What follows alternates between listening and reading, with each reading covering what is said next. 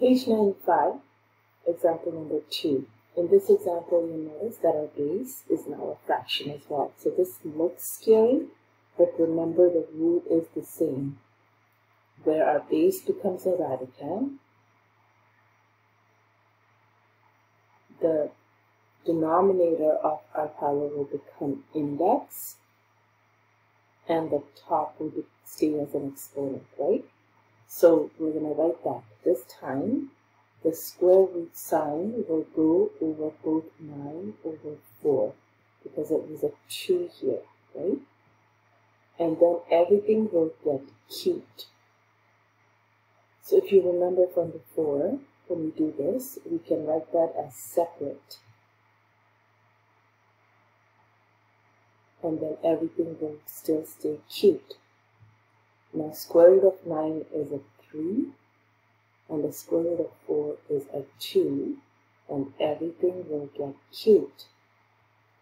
So what do you think is going to happen at this point? So if you remember the distribution part of it, the power of a quotient, so this is 3 cubed and 2 cubed, which gives me 27 over 8.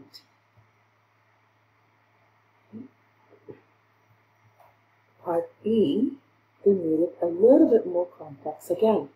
We said everything is now negative. So because it's a fraction, in a fraction if we have something that has a negative exponent to it, remember that both will change their positions in order to become positive. So the 4 will go to the top and the 3 will become the denominator. The 9 will become the denominator. So here, what we will do is we will write it as 4 over 9 and then that entire thing is now to a positive exponent. So this is from a previous lesson we have learned what happens when we have a negative exponent to a base, right? A fraction base will simply switch its positions. Then the example is exactly the same as part A except the value of 4 and 9 are in different places. So you took the square root of 4 over 9 now, and then once you will find out what that is, you will cube both, the, both of them. So the cube root of 4 is a 2, a cube root of a 9 is a 3, and then both of them will get cubed. So 2 cubed is 8, and 3 cubed is 27.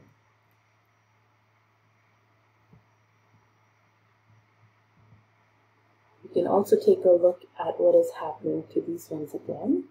So here we're just writing them. So more practice with the same idea.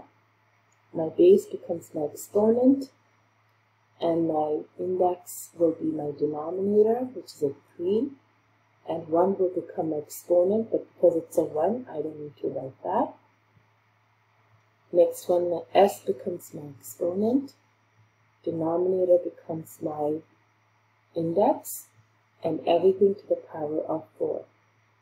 Or you could write that as 7s to the 4. Here first we need to convert that into positive. So we're not dealing with a fraction, so we will have to just switch that base and bring it down to a denominator. And it's 1 over 6.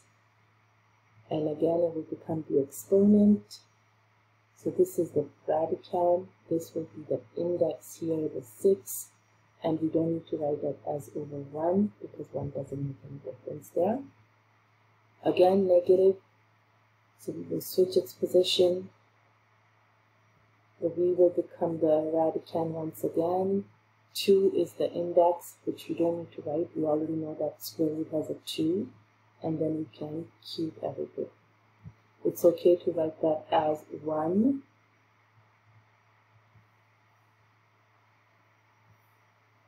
right?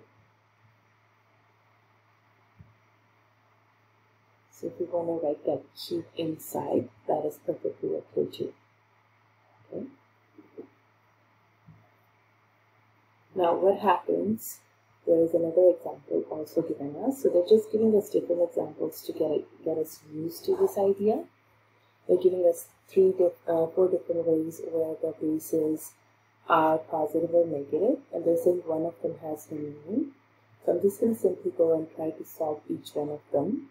So 64, this will be a cube, and then I will be able to square it. And that definitely does work because I can find a cube root of 64, which is a 4, and then I can square it, which is 16.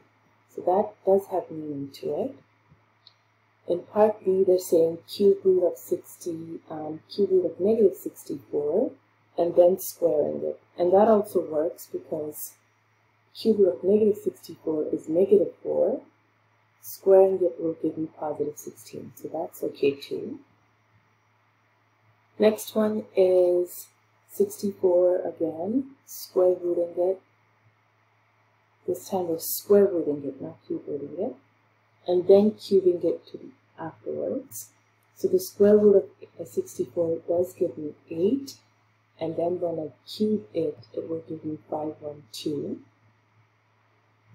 However, the last one, so these three worked. So that means this last one might not work.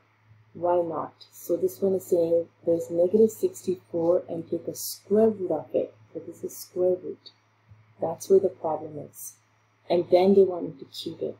I will get stuck right at this point. This step is not possible. Right? We can't do a square root of a negative number. So there's no way we can do a square root of it and then cube it anyway. So we're already stuck with this.